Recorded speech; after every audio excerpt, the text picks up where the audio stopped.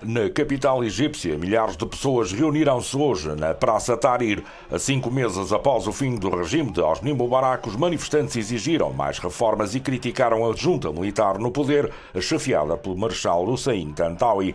Os protestos são a resposta ao apelo lançado pelos movimentos e jovens pró-democracia e pelos partidos laicos.